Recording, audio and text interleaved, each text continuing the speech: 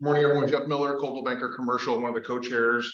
Um, to my right, your left, we have Mayor Hoy uh, and Kristin Retherford from the city, who will be talking about kind of their thoughts and trying to gather some information from this group.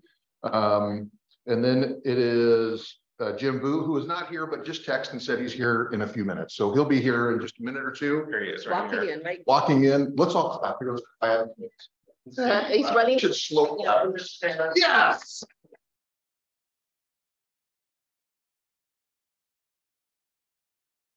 So as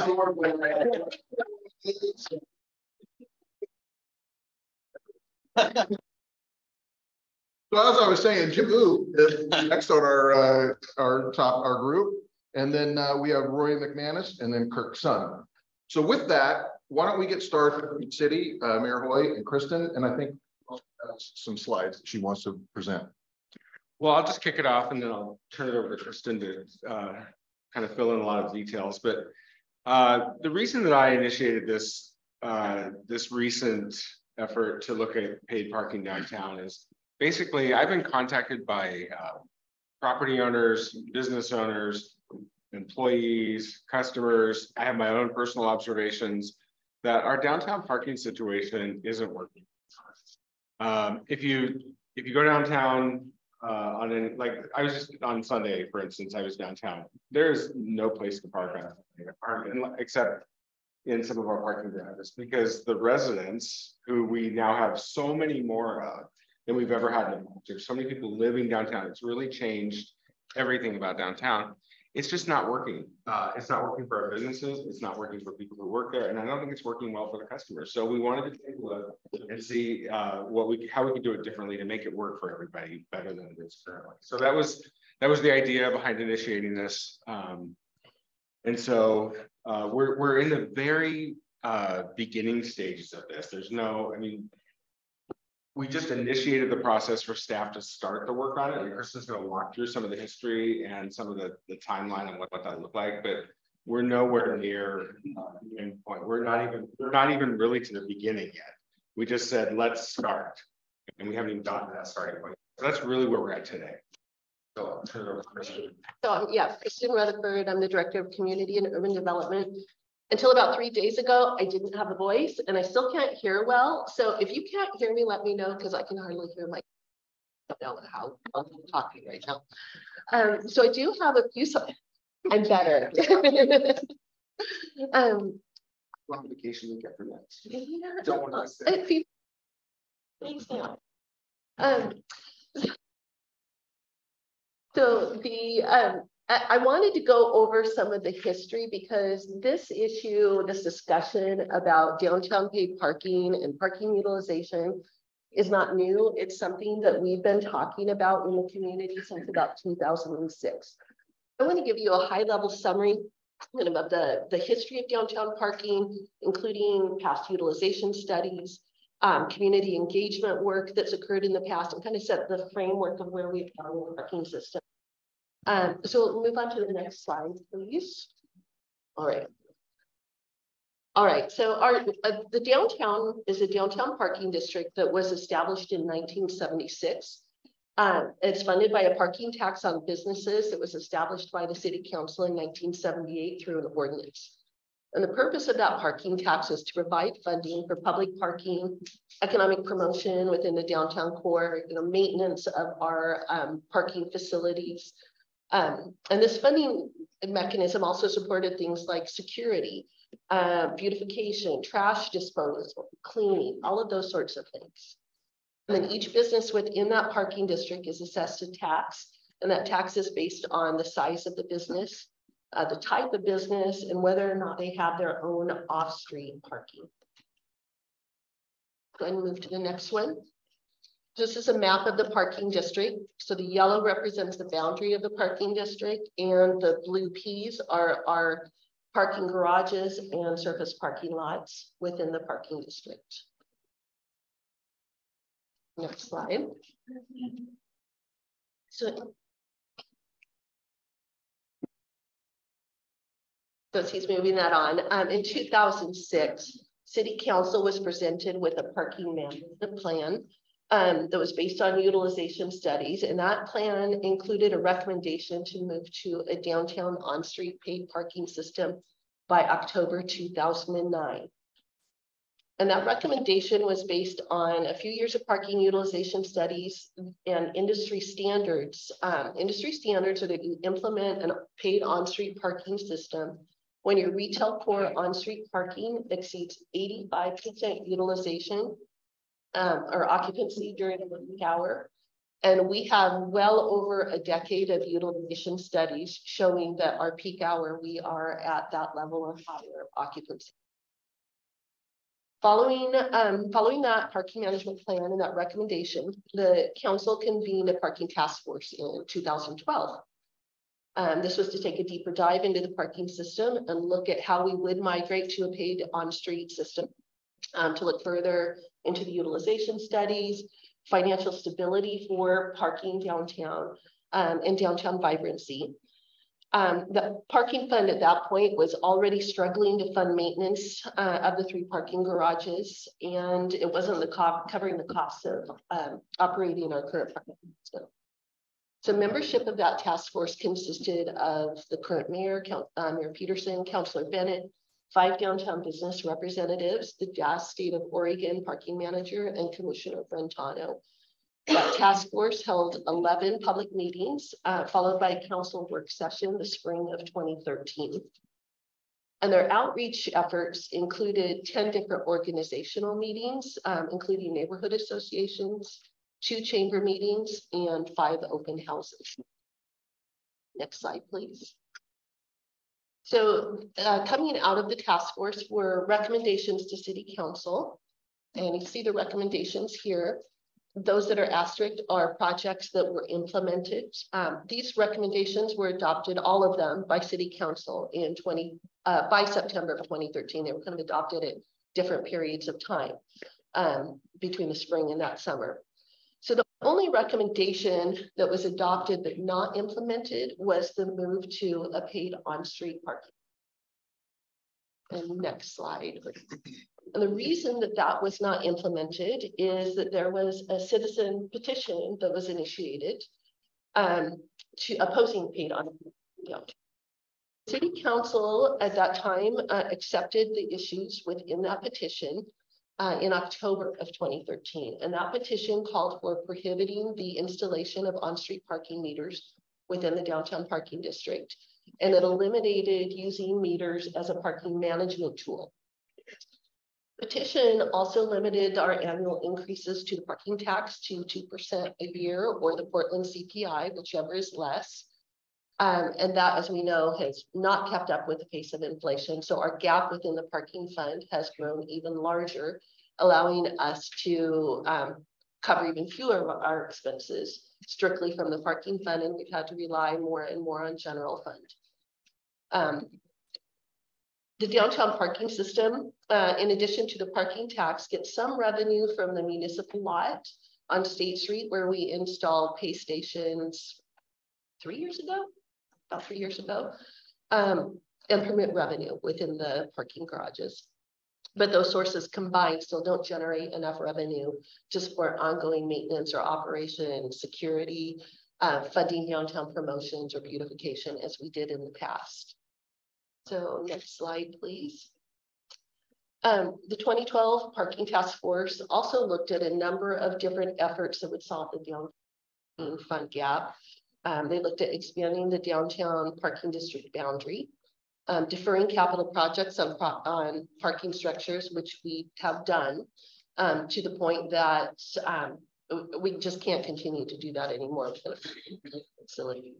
Reducing downtown operational expenses, which we have done significantly. Uh, reducing allocation of funds for downtown promotion and other services, which we've also done. Privatizing parking services, which we have not done because um, there's there's not a, a business case for privatizing something that doesn't generate revenue. Um, so that's the challenge with privatizing those services. Modifying the parking structure, uh, which we have not done. Um, extending downtown parking enforcement hours um, to manage some of these issues that have come up, like more residents parking downtown, and then implementing paid off, off-street parking, um, which would be in the parking garages. And again, if people can park on street for free, then why would they go into a garage and pay to park there? Um, so following that task force in twenty sixteen, through the urban renewal department, we convened several focus groups to look at a number of different issues downtown. Parking is one subject that came up in those focus, focus groups. Um, we had over sixty different participants in those groups and parking issues. Um, and some interest and some opposition to downtown paid parking came up as a part of those discussions. And then I believe it was in twenty eighteen when the Downtown Advisory Board continued to be interest in moving towards paid on-street parking and they convened um, some open houses. Um, this was board driven to bring the community in to gauge sentiment on moving to a downtown paid system. So, you know, we have a long history of getting public input and continuing to look at this issue uh, driven by utilization issues and funding issues. And after setting that framework, then I'm going to open it up and pass it off. Oh, the three three hours, sure. So yeah, so coming out of the um, the initiative petition, there um, one of the items that was implemented was completely eliminating um, any any time management of our parking system and having it wide open. You could come down, you could park as long as you wanted to. Um, businesses quickly realized that that was not a good thing because um, spaces were getting filled and nobody could come down and find a space. So at that time, we moved to three hour, um, that was kind of the compromise between unlimited, uh, the utilization recommendations are 90 minutes. So the kind of compromise was three hours of enforcement, and that's where we have been since then. So um, there are, you know, some challenges that come out of that. You know, the parking district employees are not supposed to park on street because our businesses pay a tax for their customers to be able to park for free. Um, a lot of these spaces do get filled by employees who then move their car every three hours to different blocks to circumvent that instead of getting permits.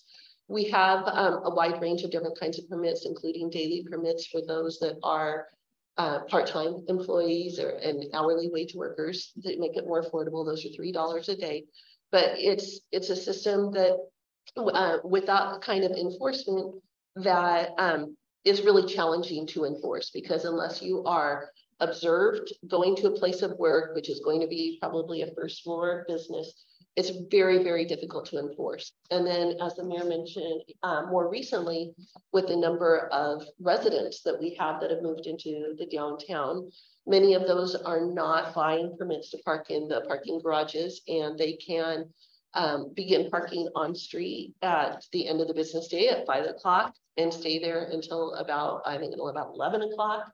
Um, the next morning, right? And so it takes up those spaces. And then if they move their car, you know, once or twice throughout the day, then um, they're still covered and it's very, very difficult to enforce. So again, this is taking away spaces from those that want to come downtown and shop or um, use services. So, um, so one of the thoughts and things that we've heard from businesses over the years is that by having a paid on-street system and continuing to have free spaces within the parking garages is that this will be a deterrent for employees and residents for parking on street. And instead of the businesses paying uh, for those spaces, those customers that want the convenience of parking uh, proximate to where they're going, you know, within a block or so, um, would pay and have those spaces available. And those that were going to be downtown for longer periods of time or um, didn't need to be as close to a space, then continue to park free in the parking garages. Um, so in terms of next steps, as the mayor mentioned, we are just very much at the beginning. Um, the motion was made about a month ago. So we are now developing um, kind of the scope of work and what next steps would be.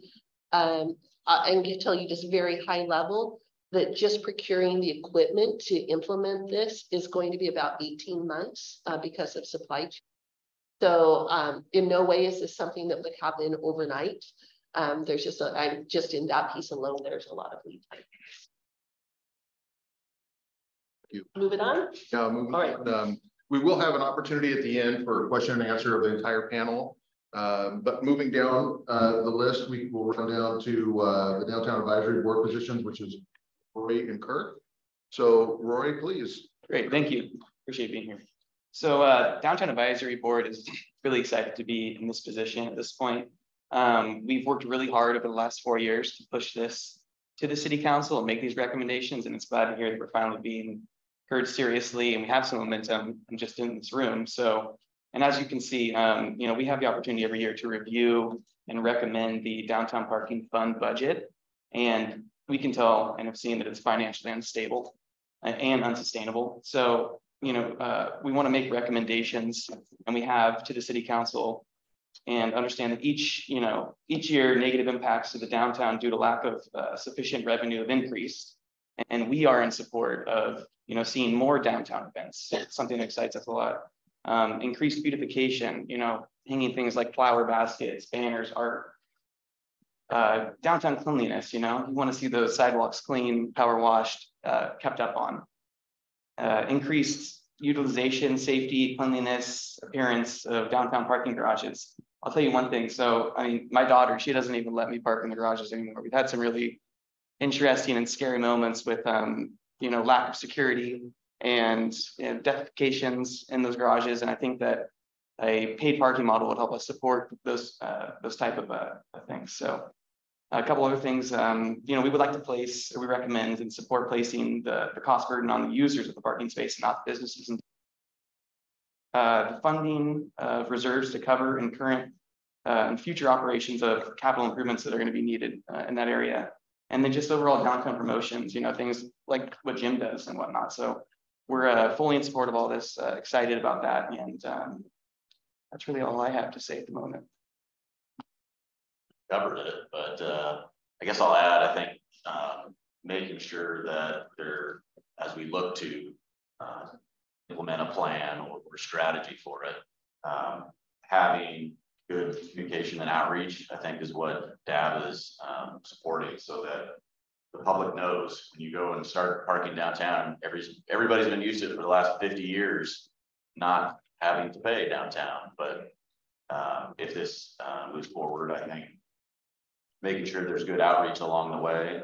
Uh, and then I think probably having a plan for some grace when it does go into effect. Um, trying to understand how how that works and um, it'll be new for people. So um, yeah. Thank you. Jim? We wanted to give you No, you don't. You're all, you're all gonna wish that I lost my voice coming into this. So, uh, as I come as the board president for Salem Main Street Association, come from the perspective, uh, representing businesses, uh, building owners, as well as, uh, residents. Uh, our goal is for a vibrant downtown. The spirit behind, uh, you know, the, assuming that, uh, financial burden for parking downtown is create a hospitable space. And the whole concept is, uh, you know, Portland may be cool, Salem is warm. And the concept behind it is that the hospitality aspect is having businesses or customers come in and feel welcome and, you know, take off making that burden as easy as possible. It's like, you know, someone comes to your house, you give them a glass of water or a drink, case, have hors d'oeuvres, things set out and welcoming them in.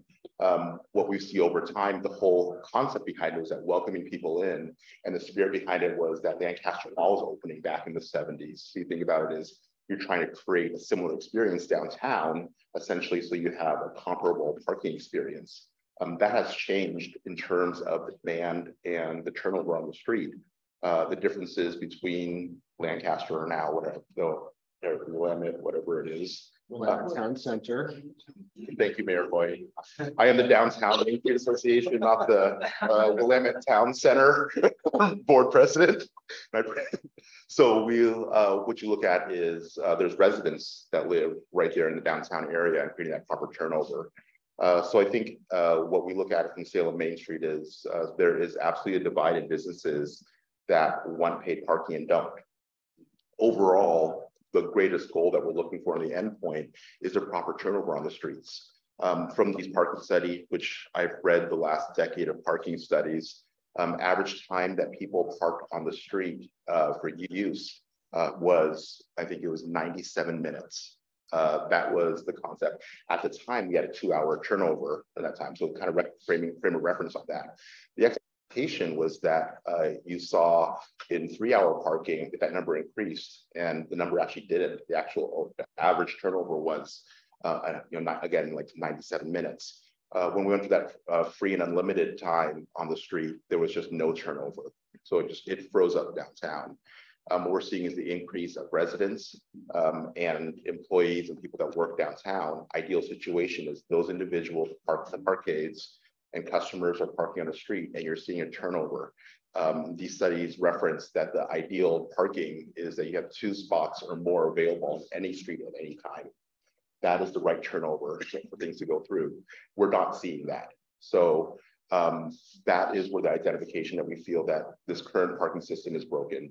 It creates this adversarial relationship, employees, residents, um, and parking spots, and also the enforceability of it. Um, the rules are very uh, hard to determine because say somebody is working um, at a bookstore and then they're an employee that day, but at the same time, they're also going to lunch and having coffee at other places. So they're also a customer that day. So one person's employee is the next business's customer. Where do you decide that line? It's like, oh, did you clock in, clock out? And all of a sudden we have, uh, you know, Salem parking is going down and being these, these detectives to figure out, were you working or not? Oh, I was clocked out, so technically I was a customer, so therefore I can park in the street. Do we really want to have our city going down and having that process?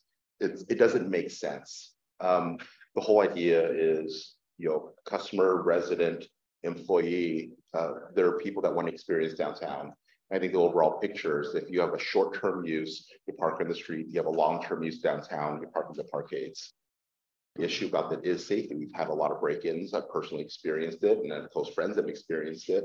Um, so those are the overall picture is being able to create an overall uh, healthy experience downtown and parking is an aspect of so, you know, the proper installation of bathrooms, cleaning, um, you know, images where um, the overall picture is making the right thing to do, the easiest thing to do. So we beautified the parkades, painting them, you know, beautiful colors. Each floor has a theme. Um, and we have all these local artists and businesses downtown that are willing to engage within this process. So um, I can't say that I can speak on behalf of Salem Main Street's uh, group and as an overall saying that paid parking is the answer. It is an answer. Overall, proper turnover on the streets and long-term parking um, using the parkades is the ideal situation we're looking for. If I could speak just for a moment to the parkades, we have recently, uh, the city manager has recently uh, instituted 24-7 security in all of our parkades. We recognize there's been a problem there, so he has hired private security that rotates through all of the parkades. Uh, which, and we uh, paid special attention to Marion Parkade where we had a particular problem. So that's been cleaned up. We've moved residents out of the stairwells. We've moved folks out of that place. And I, if you haven't been to Marion Parkade recently, you should check it out. It's a much different atmosphere than it was, say, two months ago. So that's just a little bit of an update. We're trying to make that the, the parkades a more viable option for folks because they, you know, there for a while, they really. Thank you. So we have plenty of time for questions. And so I'm going to try and capture everyone as their hands are going up. Um, and Brandon, hand was up. So we have, we have a over here and then we'll come back. Brandon, please. Just two quick questions. Um, number one, just talking about the downtown parking fund budget. What I heard that also covers cleanup and just right. So a couple of years ago, you know, we spent like $1.2 million on the server road cleaning up over by the old TJ Maxx. Does that come out of that fund? Is that? No. Yep. Um, currently, uh, homeless services, it's a separate fund. We do those, uh, the recent cleanups at Marion Parkade, that sort of stuff. No, that those don't come out of it. No, not at all. There's, there's no way, there's not nearly enough money to do that. It's fun. There's not enough money to do the basics, let alone the, that extra. So no, we pay a general fund, ARPA dollars, various places. Yeah, a lot of that was funded through ARPA dollars. Um, ARPA helped to sustain the parking fund uh, during COVID, and then general fund is also pitched in for security. But the cleaning services are the downtown clean team that does a, a daily patrol or nearly daily patrol. Yeah. And we are looking, if I could just follow up on that, we are looking at some additional cleaning services. I don't know if you want to speak to that, Keith. I don't want to get out ahead of you, but. We're looking at some enhanced services. Oh, expanding the SOS team to twenty-four seven, uh, not twenty-four seven, seven days. seven days a week. To, to provide some additional resources for, for cleanup beyond what the current system is. And the, the second one is, you know, we're hearing all the parking issues with residents moving in, but it sure seems like with the affordable housing units that are planned to come online. It sure seems like we're doing a lot of building, bringing in residents with no attempt to address the actual parking issues. Like, what's the plan going forward with additional parking garages on new buildings built? Um, because I think it's just gonna get worse. So there is um currently no requirement for on-site parking for residential use downtown. Um, some uh developers have um through their own preference added some spaces. Uh, I want to clarify that all the units that are coming on downtown are not affordable. Um, most are market rate with some affordable mixed in um, or completely market rate. Um, but those that are receiving incentives are mixing in some affordable units. So Fifteen percent of some structures. But a lot of units coming in. There are a lot of units. uni- no yes. So, um. While the decision to remove the parking requirements, um, was made by city council. Um, there are new requirements coming through the state that will preclude any unwinding of that to require it. It will have to remain in the developer's options. Um, and the reason that we removed that is because it was a barrier to development.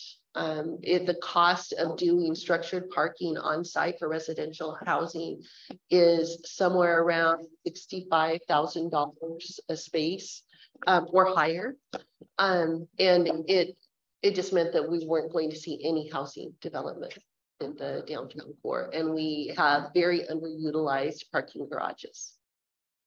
So I think, you know, at the point that we start seeing parking garages fully utilized, um, at that point would be when we would start looking at whether or not there's need for another parking garage downtown. Mike, real quickly before you go, do you know, do you have an estimated number of units that are coming online within the next? I mean, I've heard all kinds of numbers, so do you have an idea of what that might be? Um. There are a, a number of projects that are sort of. In the development phase that haven't even come in for application yet, but we're talking hundreds of units. Yeah, I would say it, especially with looking at the uh UGM property that we're going to be taking to market. Um, there, where Wells Fargo used to be, at the corner of Liberty and Chemeketa and the adjacent lot. Um, I expect we'll see housing going in there. Uh, and then the former Nordstrom site. So I think all of those combined, you know, you're looking at probably six, seven hundred or more. Oh, okay. Like, Okay, so kind of springboarding off of that, um, two, two questions. First is, what's the, uh, current and then estimated demand once these housing, you know, hundred sixty-five units going in Nordstrom, you got hundred and forty at a cost with twelve parking spaces. Um, so what's the sort of supply and demand downtown Mhm. in utilization of the garages? And the second question is, what are the revenue estimates, or is there a revenue estimate for move to paid parking? And how does that address the, if we make that, if that move is made, how does that address the budget shortfall? Um, that's information that, that we are working on right now. We have estimates that are several years old. So as a On part of. on the- On, so on the revenue to be generated through paid parking. Yes, so those estimates are several years old. As a part of this motion, we are going to be updating and looking at all of this questions to come up with answers to the questions that you've just asked. So we're still at the beginning of that process.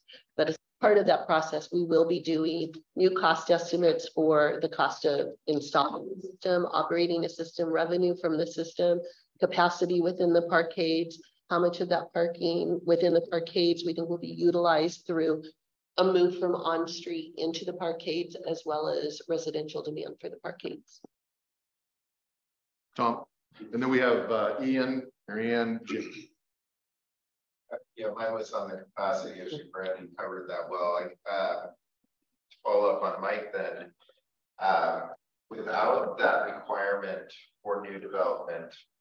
And knowing how we are looking at a housing first model in the city. Without that analysis, I guess I, I get concerned that we're putting ourselves in a situation where we are eventually going to have all of our structures needed for residents because there's no requirement that the, the, the owner of the property has to provide that parking. How do we know if we really do have capacity? Because I, I mean, if you go to any event and at the convention center, uh, I'll use Saturday as a perfect instance. We have our first citizens banquet. Those, there will be no parking in, in the first closest, uh, for sure, the first closest uh, parkade. And then they'll trickle over into um, the lot over where Marco Polo and that is. I'm just trying to imagine us in 10 years when we have a very vibrant, full of residents downtown. Are we going to put ourselves essentially in a box by not having any requirement that we eventually are just going to flat out not have parking at all downtown because the residents will be utilizing? So I, I get a little, a little more concerned with the downtown advocacy and the main street. of, Are we looking at that long term? So Tom, one thing, I'll, I'll start and others will can chime in, but so not having a, a requirement for parking downtown is, is a state law, anywhere in town is a state law. It's not something that is optional for the city. That's the, we, we don't have, on Monday night, we're gonna eliminate it for the rest of, of the rest of the city. Right now, it's just downtown because the state law requires us to. So that's just the current state of affairs that the idea is that the market will drive that and that and the market will dictate that the developers um, create those spaces in order to build an attract to have an attractive structure and attractive development. That's the idea. But that's the state law. That's going to be in every city, not just Salem. So that's a that's something that people haven't yet. That this is this is the state law now. So we can't require parking. So, but we still have to deal with the effects of that to, to the rest of your point, which I think that we will be. And, and then to add to that, um, when demand reaches that point, um, or as it's heading towards that point, I see two options. I see it as a private sector opportunity to develop structured parking that would be paid structured parking to serve residential users or just users in general within our downtown. Or um, what we done in developing the three parkades that we do have downtown within the urban renewal area. And that would be to use urban renewal to build an additional parking structure or joint venture with the private sector to build a new parking structure. If I'm not mistaken, if I may follow up, uh, is it correct that the top two floors of the one adjacent to the city hall are exclusively for city parking? No, not at all. So all of It's- that is now open? That, um, yeah, over at Pringle Parkade. Um, there are some spaces, but it's a small percentage of the spaces that were leased out to the Salmon Run. At the time it was developed, that is occupied by city, uh, engineering department. But they will be moving in the fall out to their new, new facility. But all of the rest of those spaces are public spaces. Uh, and the one across from the convention center on the top, At Liberty, mhm. Liberty. That's now all open? it's permitted. They're for permits, permit holders.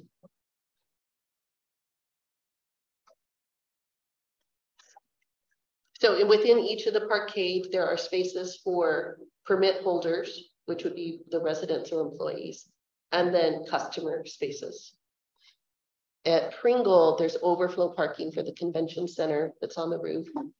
And there are some spaces within that parkade that the uh owner, that that building is a condominium structure.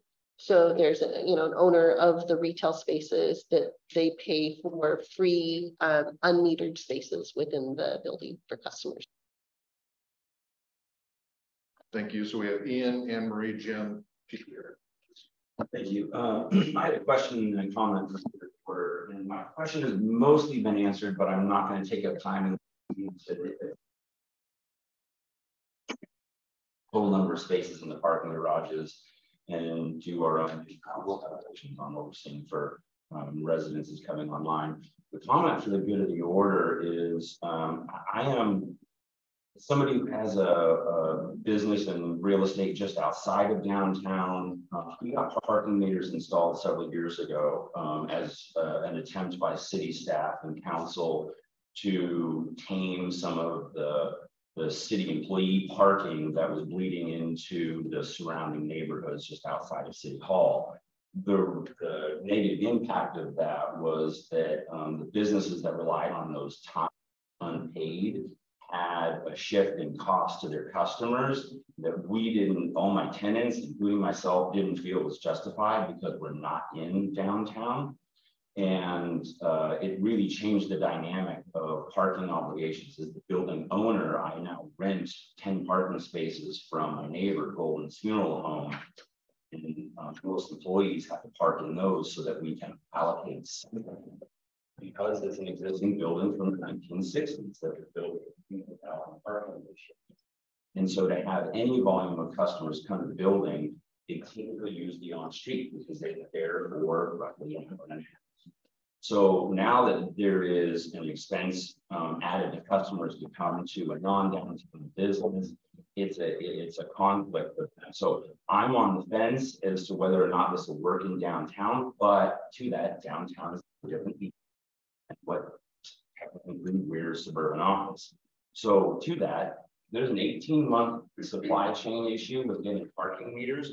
You are free to take the one off last week. Very generous. All of my tenants, Gladys Blum, the funeral home will all graciously thank you. And I bet you I can get you probably six businesses that will just go pay for parking in the library's parkade for some of our employees. Thank you. Thank you, Anne. Anne Marie. I wanted to just comment, I've sent several emails and have appreciated that you guys have um, responded and taken structures because in the short term, to get good usage in the parking structures, they need to be clean and safe. And um, I know you know that, but I want to acknowledge that you guys have been responding. Um, but for those that need filled all the time, people feel like they can park there, that their vehicle is safe, that they're not So that just needs to be a really high priority for you to even start. Those. Uh, as soon as our new city manager became aware of that whole situation, he he dealt with it right away. So, yeah, we I agree with you hundred percent. That's we want the parking structures to be viable, and in my mind, viable means safe, you know, accessible, all those things. A place that people would feel are going to feel okay to park. I remember, you know, back in the day when I when I was in college, we parked in the parking instructors all the time, and it was no big deal. It was, you know, convenient. It's it, and it was I felt safe about it and good about it. And well, I know that's not. Pay the parking tax, and then we pay for all of our employees to park, and then they ask for park employees to go park somewhere that we don't feel comfortable right. sending them. And you know that's a tough thing to swallow. So um, it's not perfect yet, but I think we're at least on the path help people feel more comfortable parking them. I really appreciate your thoughtful feedback and your emails and the exchange. I think it was very helpful. Um, and I think it's a really good uh, example of when you engage with this in a thoughtful and and and constructive way that good things can happen. So thank you. Thank you. And I just want to follow up and, and just share with everybody what we talked about sure. before the meeting started, that as a result of moving to 24, seven security um, I've been working with the police department to get regular reports on calls for service. to be able to look at that data and the impact of the twenty-four seven security to make sure it's actually being effective and doing what we want it to do. Um, because the nature of these kinds of, of, um, break-ins is they're very opportunistic and they will shift depending on where we are focusing. So, uh, getting these, you know, the regular data input from police department and from those that are, you know, showing up in their car and finding that somebody's broken in, letting us know that, then, um, you know, for any of your customers, that can help us to shift the security to focus on different parkades or different times. Because they, it, it is a very fluid Yeah. situation that we have there.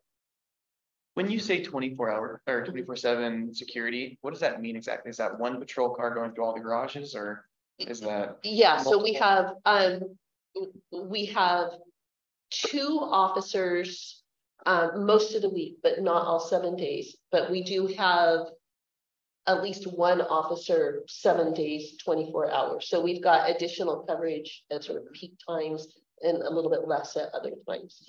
Um, and they patrol three parkades. Challenge with it being opportunistic, even if you have one or two devoted to every parkade, break-ins will still happen because if they're on the first floor, somebody will be on the roof. Right, so it's, um, but we can shift and we can increase focus, and we have also done that with when we have, um. When we see numbers really increasing in a particular parkade. Um, uh, for example, in response to your emails, you were having some morning break-ins. And so in addition to security, we've asked police to increase patrols during that time. And we've asked our parking enforcement to do, you know, kind of focus in certain areas at certain times. Bring more attention and presence. Thank you, Jim. Um, I didn't understand the, uh, the state law that said that you. About the parking, uh, but does the state law say that you have to give all those apartments free parking? Because none of them, like the COS or codes or whatever it is, uh, none of those rooms pay the minimum parking tax like. A lot of people in the room, uh.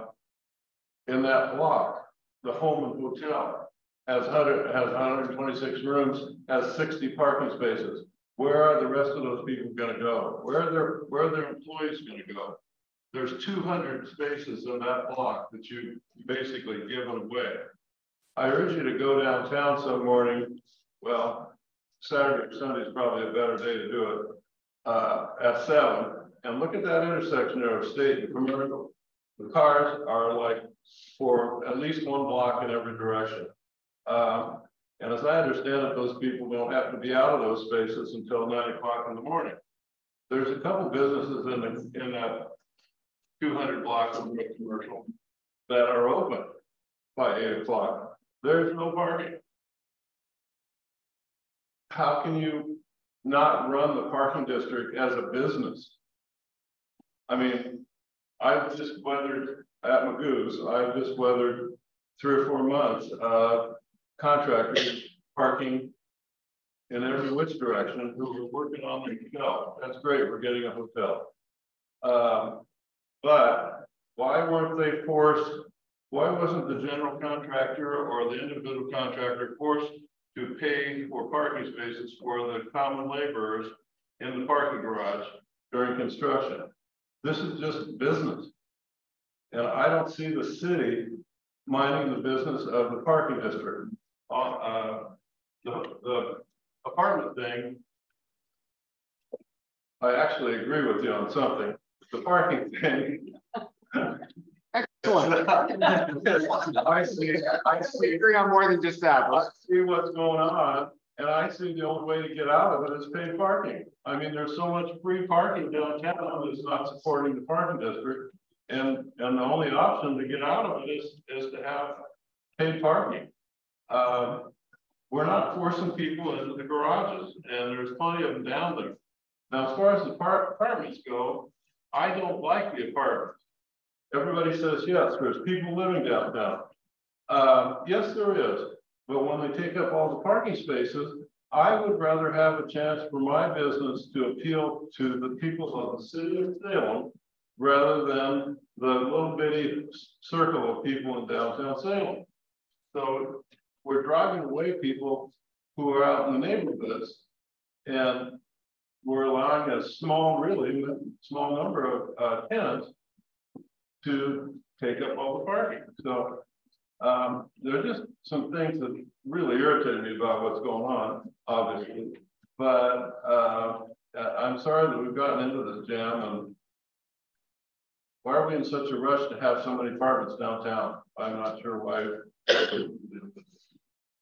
Last thing, who's gonna rent the retail space on the ground floor of the cause uh, when there is no parking?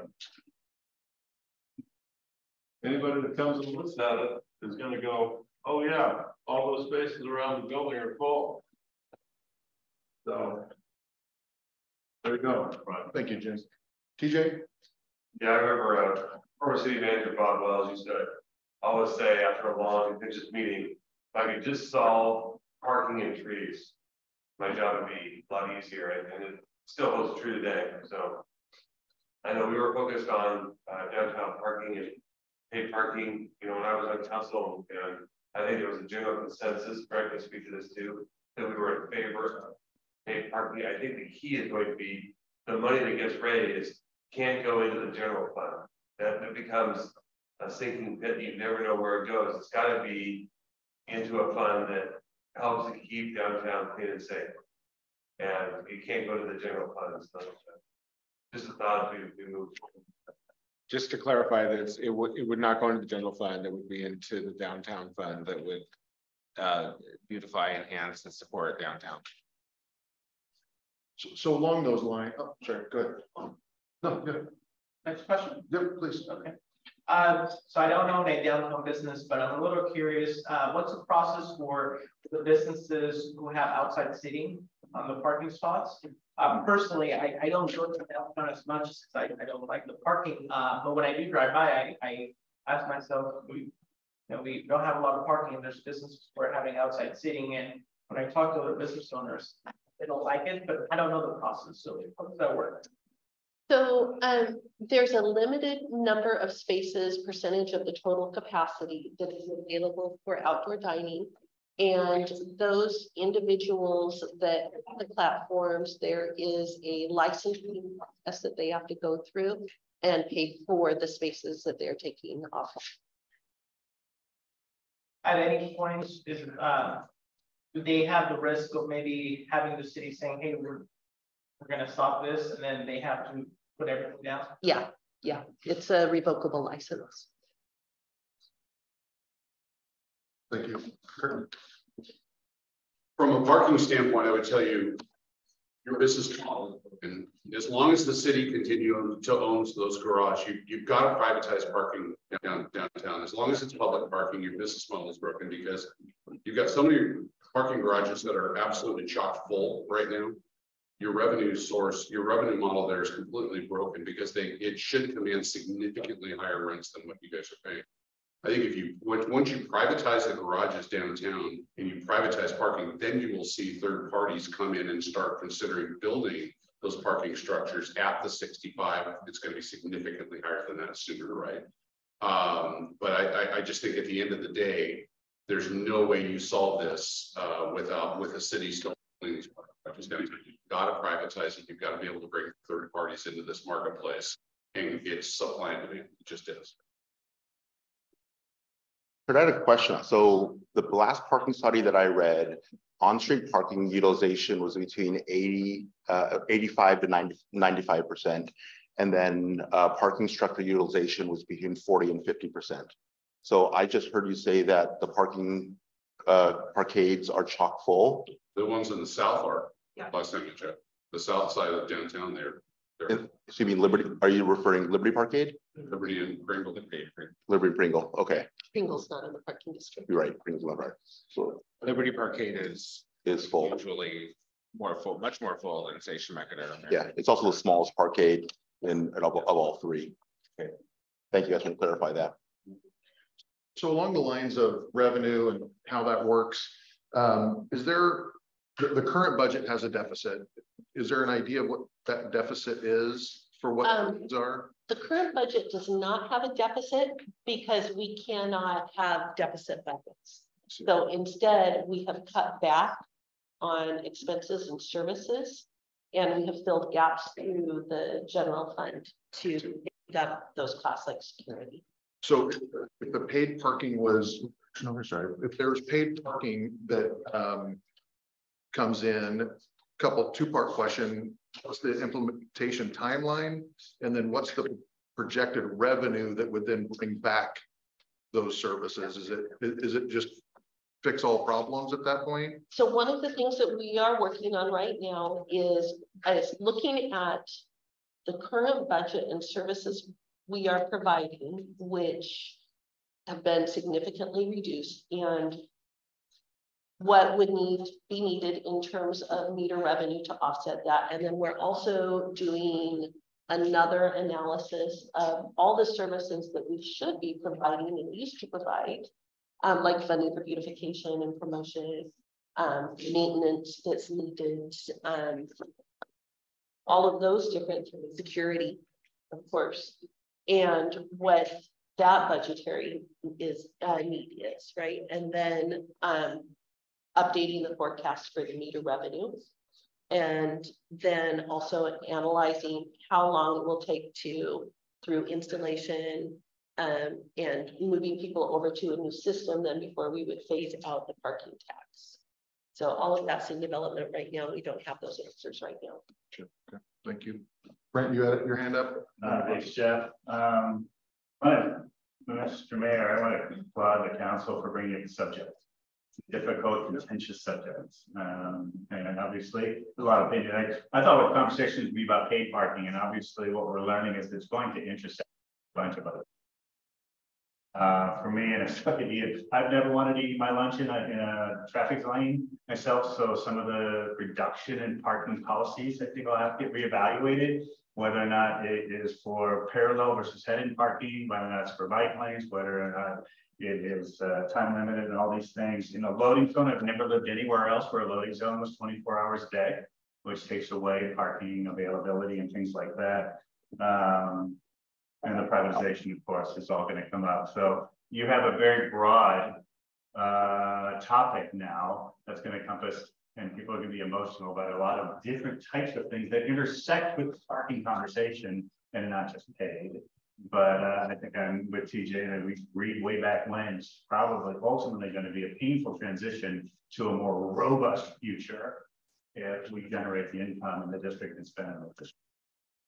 Well, I would encourage you to uh, go have lunch downtown in one of our parklets. It's not in the traffic lane. It's in a parking, what was formerly a parking space. It's actually a really nice experience on a nice spring or summer day. I really encourage you to do it. It's, it's good. Um, I, I, one of the things I also think that we ought to talk about for a minute is getting rid of our current policy, which I think is the most anti-business, anti-customer policy, which is the you can only park in this block one time once a day. And if you come back again, you're getting a ticket. I remember uh, one time shopping for my friend Kaylin here uh, for a bike in the morning. I went there and was looking at bikes and then I wanted to go home and do a little bit of research. I did that. And I came back in the evening, not even thinking that, oh yeah, I parked here at nine o'clock this morning. Now it's five in the afternoon and I got a ticket because I returned to the same block twice in one day, which is the, to me is so anti-business, anti-customer.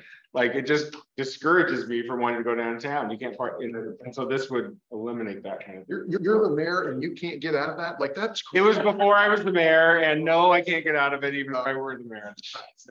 Kathy, you had a question.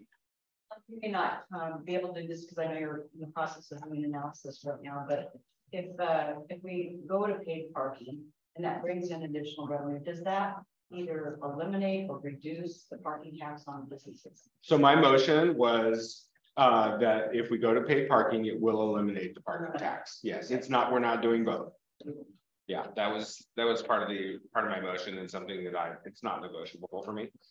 So, yeah, it's one or the other.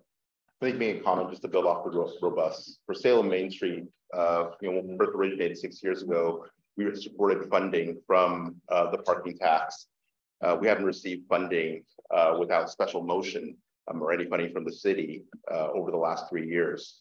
So you look at Christmas um, and the winter holiday parade and everything that we did, that was all privately funded. Uh, those were private donations, people going through um, to beautify. And, you know, what we want to do is not just, uh, you know, survive with parking, the whole concept is thriving and being able to decorate, being able to create a welcome mat and really not just make uh, downtown Salem comparable to other places. It's being a step and above and a destination. Um, I've always believed that a, a, a vibrant downtown is a vibrant city. So if we can put our best foot forward where people are visiting with the convention center, with the hotels, everything that's coming in, with the airport, all of those things that are coming in to really, when people uh, come and they look at downtown Salem, and say, wow, it's a really cool city. That's the hope. I'm going to put another hat on. I'm actually the chair of the Elsinore um, theater of their board. And, you know, we're working really hard at bringing unique and different shows into downtown to the Elsinore. When somebody comes from Portland or Eugene to come to Salem to have dinner at five o'clock and go to a seven o'clock show and they walk out and they have a ticket on their car, like that's not what we're, that shouldn't be what we're trying to accomplish. Just, I mean, I know does happen, but I want that that person would rather pay, you know, seven dollars to park um, in that spot and have a really great experience and come out to their. Thank you for mentioning that. I think that's really important. And with if the amphitheater coming online, you know, we're gonna we're going to have even more events happening downtown where that's going to be exactly the case. Mm-hmm. Brandon, did you have a question? Did you raise your hand? I, I just had one last question, it was just, and all the planning that we're seeing coming directly with Bartley. Are there any proposed parking structures in the works? No, not at this time. There are two areas in downtown that are thinking about it. But uh, in order for that to be viable from a private standpoint, the existing parkades need to be at capacity. So uh, if Liberty Ready is uh, Chemeketa and Marion have to be filling up for the economic uh, models to work for those private uh, arcades. But with the proposed new residents coming in, uh, yeah, that otherwise that we're going to go to kind of stage in Lancaster to say. So yeah, so the answer is yes. The number uh, in the whole concept is until those things come online, the demand is there with somebody willing to put up the seven to eight million dollars to build a six foot structure or six story structure. Tom, you were going to add one comment or? Um, yeah, I know we're at the end of our time. I just, uh, back to the technology side, I know that meters themselves are desirable. I just wonder if there's, there's, uh, when you go to Masonry Grill, you just scan and it's all on your phone. It seems like a lot more cost-effective way for us as a city to be collecting parking revenue than putting meters every single block of the like, but. Yeah, when you go to a, you know, the big city, you just dial it up on your phone and yeah, no, I'm right there with you, Tom, and those are conversations that we're. We also want to make an integrated system, so uh, with Cherriots, because they're going to electronic fare, and so you'd be able to use, hopefully, be able to use the same system, uh, whether you're riding Cherriots or parking. So it's like a, a yeah, so we want to make it as easy as possible and as cost effective, of course. Before we transition, Anne Marie, you're leaving. I just want to make sure I heard you correctly that the Elsinore is in favor of this sort of thing. Is that right?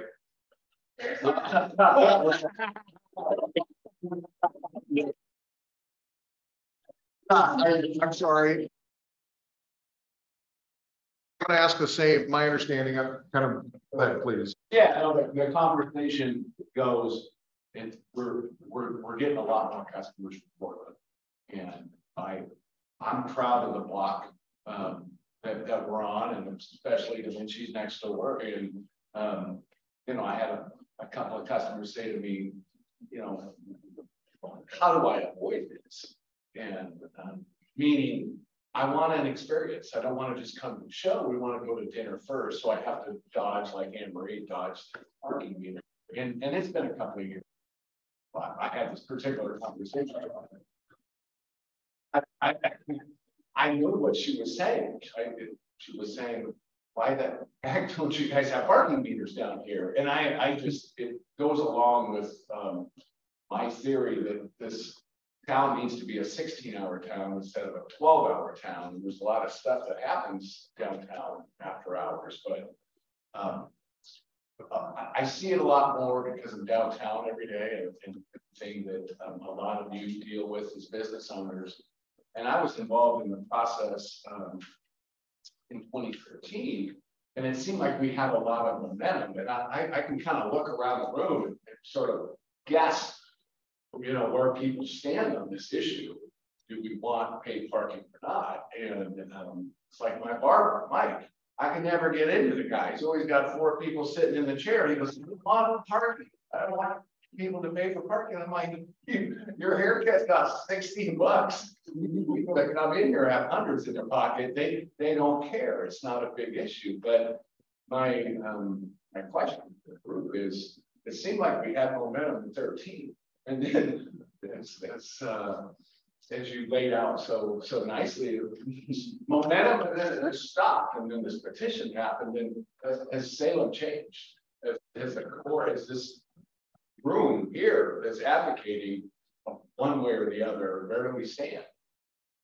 So I don't know if we can take a straw poll, but I, the question is, are we gonna do all this work and then have it shot down? Like, yeah, Well, I'll just jump in from the chamber's perspective. We're not taking a position at this point. This is more of a information gathering, trying to collect data for the city. So we're not taking a position yet. There's no reason to take a position because there isn't anything to take a position on at this point. But it sounds like there's momentum from your, your perspective. And Jim, I was gonna ask the same of Main Street Association. Is it, what I understand is that it's in support of transitioning this way? I can't speak from the association. We have to go to the board uh to be able to do that and also uh poll to make that statement. Um, I want to be able to go off in terms of what Tom had said about the evolution of downtown. Uh, a lot of businesses were focused around state workers. So you had this eight to five mentality. And then as more businesses were opening up and being later, more residents moving in, it has evolved. So what you're seeing is that the uh, customers of downtown um, are residents, employees that are staying after work, they're working downtown and being the later night. So you're seeing the shift in the mindset of businesses, businesses that are, you know, 15, 20 years and older have that, you know, eight to five, nine to five setting. Businesses that are open, that are uh, evolving to later hours are going toward that. So, I mean, Jim, a little bit to about residents. The residents turn a uh, eight hour downtown to a 16 hour downtown or a 20, uh, 20 hour, 24 hour downtown. So those residents are customers of downtown area, uh, convenience, spend more time there. So I think that's the evolution of things. I think just adding on that real quick. Is, is the resident housing downtown. Twenty thirteen, there was forty total units and, and maybe in downtown. Now there, there's hundreds. Um, so that's a big change to how parking gets used, because as much as the state may push that nobody needs parking and that's a magical future, it's not real. And so you get people that have cars that park, that live in coves and have a car and play the shuffleboard game and around. Um, so that's, a- that's a huge change from twenty thirteen kind of model. So um, to that point, we do need to move on. We have our next guest and next topic, but just real quickly, thank you, Kirk, from Rory and Kirk, from your perspective, downtown advisory. is in favor of a, of a change. Is that what I'm hearing? Yep, that's correct. And then Mayor Hoy, you had a comment? I just wanted- to Transition. Yeah, I just wanted to say, instead of right now, maybe asking, are you in favor of paid parking or not?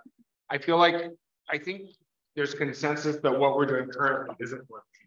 I think, I, I, I, I don't know if, if there's anybody who thinks that what is happening right now is a great, is a great way to be handling parking downtown. The quite, I mean, we may not agree on what the best solution is, but I think that we can all agree that right now it's not great for businesses, it's not great for property owners, it's not great for employees, and it's not great for customers. I mean, I, I feel like there's a common ground there. How we get to a better place is a, a different question, but um, I hope that we can all agree that, you know, we need to do better with it, uh, because the way it is right now isn't, isn't fantastic. Yeah, well put. I shouldn't have asked it that way. So well put, yeah. And I would just like to share, you know, I've heard a lot of questions today that tie into the work that we're doing.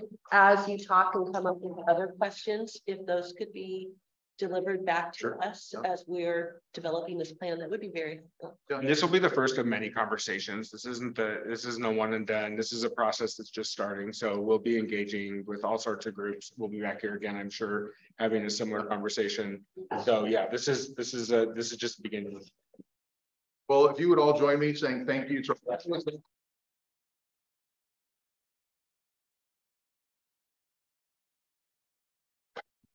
To join us now, and hey, apologize, for not manage this meeting well, we're five minutes behind. You can stand, you can sit, you can do your most comfortable. Wow, please tell my husband that.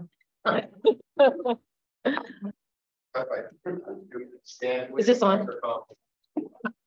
Is a mic here? Well, thank you. The good news is I'm a lobbyist, so I talk really, really fast. Um, it's the nature of my business. Thank you for having me here today.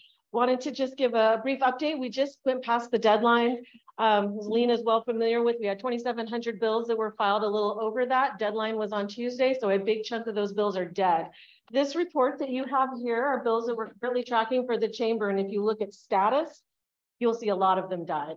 A lot of them we didn't like died, so I'm pretty happy about that. There's a whole section in the Senate bills of the, in the thirties that were all related to unfair employment practices, employment law, things like that, which we were very worried about. All those bills are dead. Um, we now move on until May, which is the next deadline, into the budget piece after that.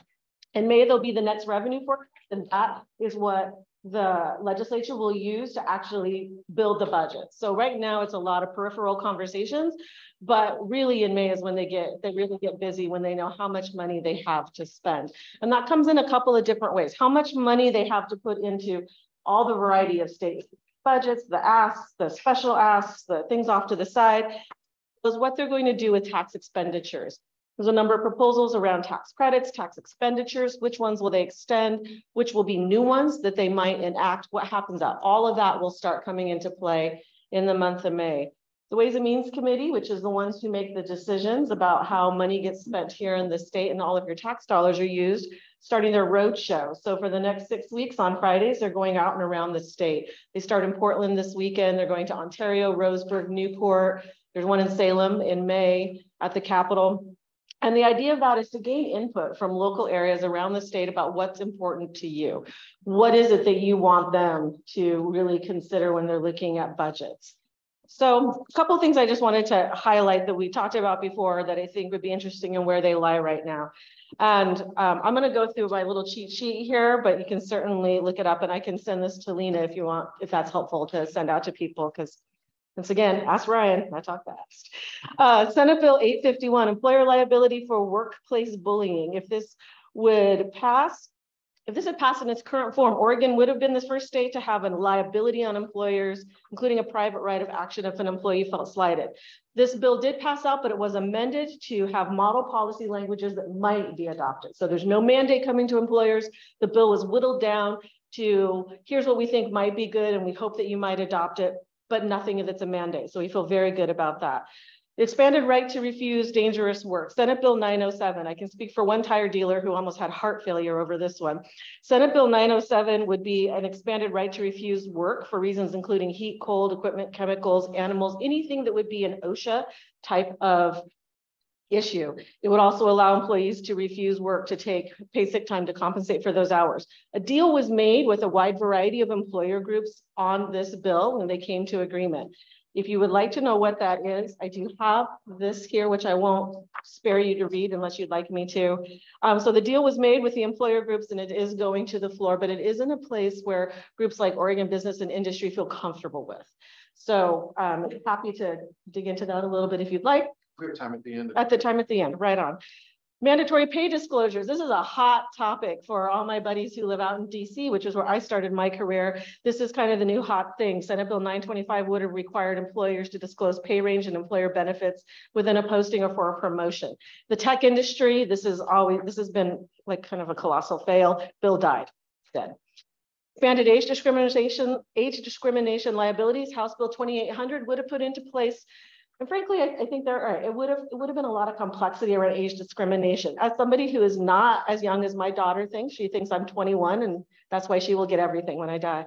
Um, what this will do, what would have done, would have changed the age discrimination laws. It would have changed, for example, how you worked in experience versus numbers of years versus things like that. Um, for example, I work within the fire service a lot, so seniority is a very big component of how the fire service operates and law enforcement. It would have caused great complexity in there. The bill is dead. I would say that the proponents of it are trying to find another vehicle, but they don't have the votes within the Democratic caucus. I think that one's gone. Elimination of natural gas in residential housing, House Bill 3152. This bill and Zach's other favorite bill both died. So bye-bye. Um, this one I'm a little concerned about, but we'll see what happens. So it's House Bill 3229.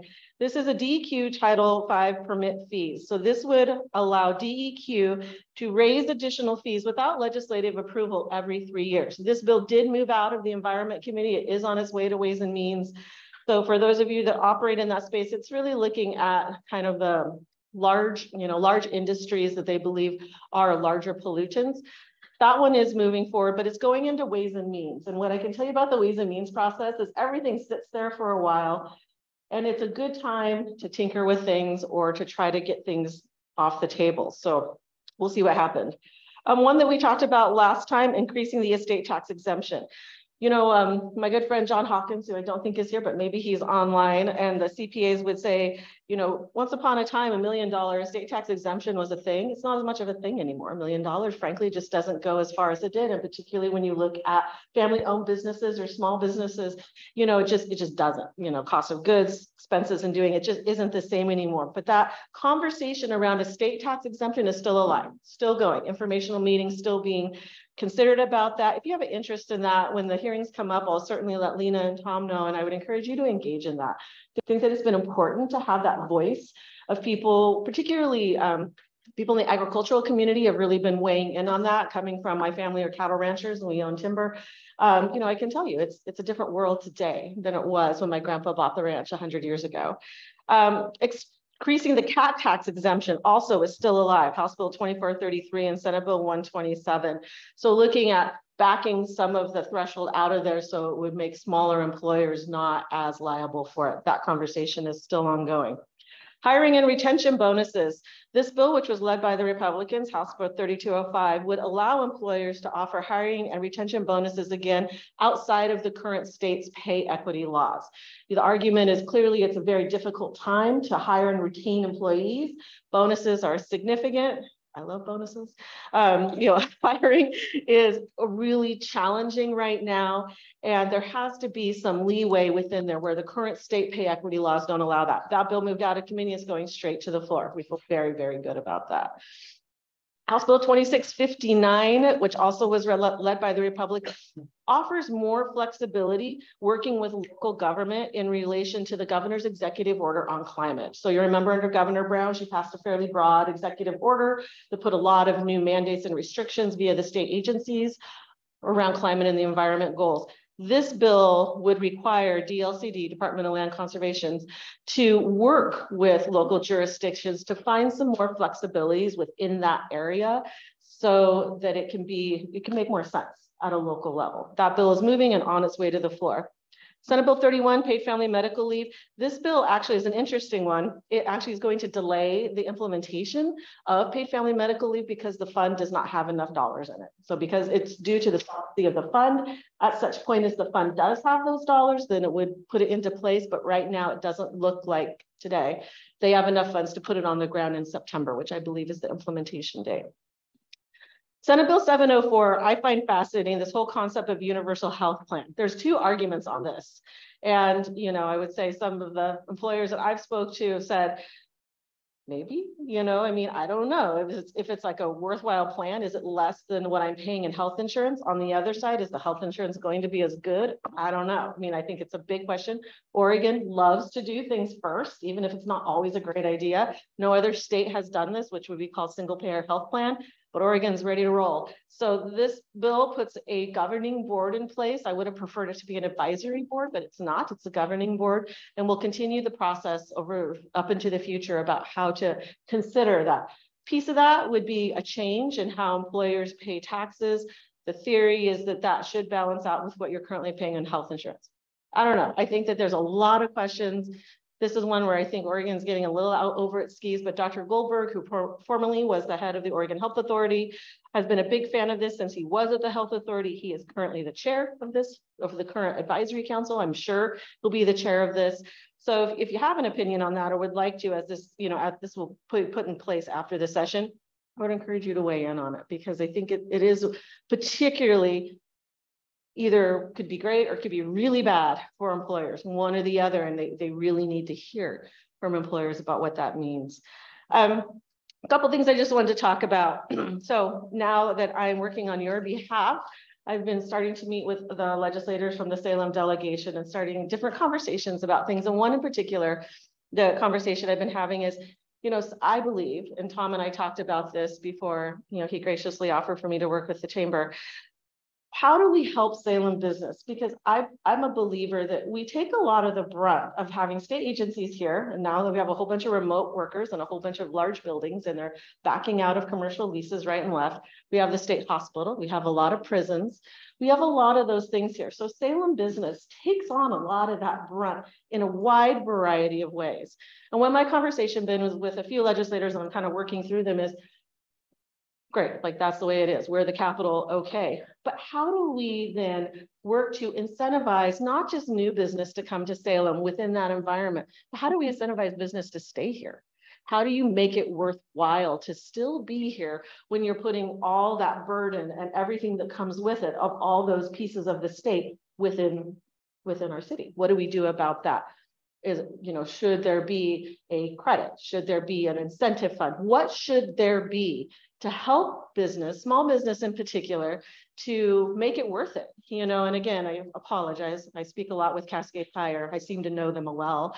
And, you know, I mean, it, it's been challenging with, you know, CAT tax and this, but also with, you know, just the just everything that's been swirling around as a result of being in the capital city. How do you make that better? How do you make it worth it to stay here? The other conversation we've been having is around paid family medical leave. We get it. And this is a conversation I had with um, Representative Andersen the other day. Like, I get you. We're, I mean, Senator Patterson. The bill, the bill is passed. It's going to be implemented. And we understand that, you know, an employee will have that right now to take up to 12 weeks of paid family medical leave. But what do you do for a business that has maybe 12 people and the one person that's out is that one person that knows how to do that one thing that's so critical to your business? You know, and one legislator said, well, what about a temp agency? I said, well, A, they don't know how to do that. You know, they might not be that well-versed technician, mechanic, you know, analyst, whatever that position is. And B, temp agencies don't have them. Temp agencies are struggling with the same hiring issues that everybody is right now. It, it doesn't make sense. How do you help an employer survive that?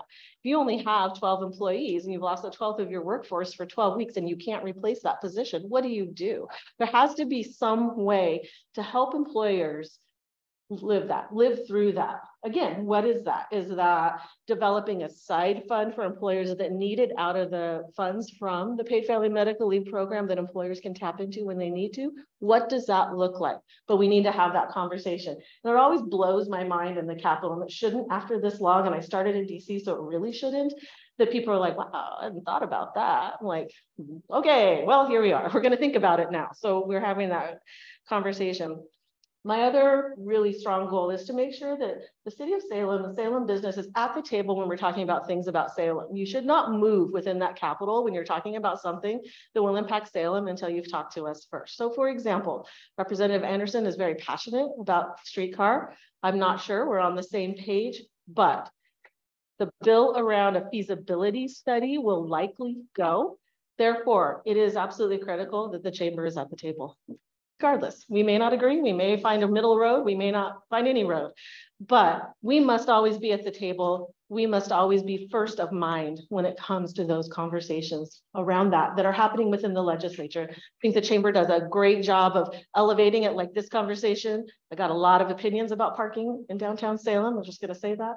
But I, you know, but I also, I think within the legislature, it's absolutely critical too, that the Salem delegation is thinking first. What does Salem business say? They may not always vote with us, but they should always think about what we think first when they're copying that conversation. That is my ridiculously fast report. I love it. Uh, any questions from anyone? Uh, I haven't had a chance to go through the whole report, so it's in there, just to tell them I'll look at it. Do you, are you following or do you have any update on the data privacy? I, I do, but it's sitting on my laptop and I can, I can get that to you. Following it, I have been not been following it for the chamber, I've been following it for one of my other clients, Uber. We care a lot about data privacy and oddly enough, accountants care a lot about it. Because now that a lot of people file tax forms through their accountants electronically, data privacy has become a big thing. But I can send you an update on that from TechNet, which is the larger technology association that we work. with. Tom? Uh, Nicole, thanks for being here. The uh, Grubhub uh, bill, is that making it? Alcohol delivery? Uh, no, this is the uh, capping of It died, delivery. So, died. You are welcome. Does- do you know what it costs for, when Andersen wants to do a study? Mm-mm. uh, What what does the study cost?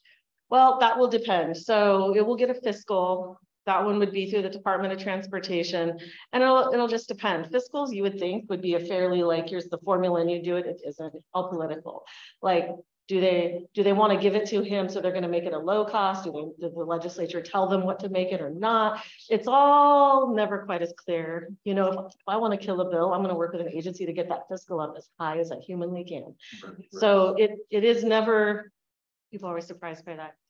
It- It's not, it's, it's not clear cut. If they want him to have this bill, they'll put the fiscal really low. Uh, Clarification real quick on the, on the state line side, the nine dollar. Yep. What what number was that? That is uh, House Bill twenty-four twenty-six. And what are they saying that they're, they, the proposed rate needs to raise to or change? It's a conversation. So, you know, I don't know, they don't have a target. It's more about is this the right time? The state is fluid, you know, it's got tons of money right now. We can kind of afford to do it. And what is that right dollar?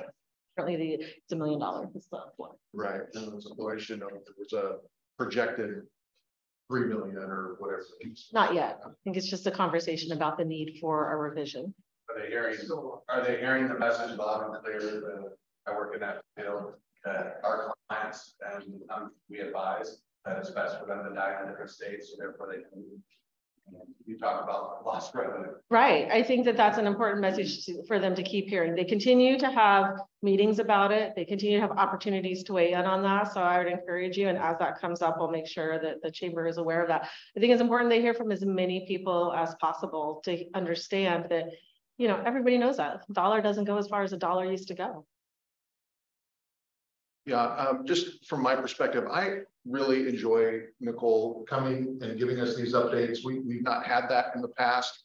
And, uh, I find it very valuable. I hope everyone else does as well. So from, just from me personally, thank you, but from the chamber also, I feel very comfortable saying thank you from the Thank you. chamber being here. Uh, Nicole will be here again, uh, throughout the legislature. And so, um, to that point, uh, our next meeting is May fourth, and it's about city budgeting. If you've not been paying attention to, um, the revenue task force, there was one that met last night, there was one a while back.